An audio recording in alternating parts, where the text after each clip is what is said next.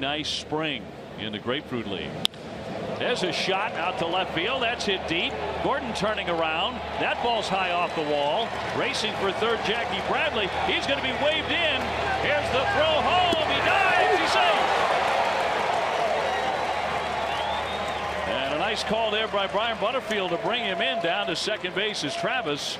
And the Red Sox have the lead two to one.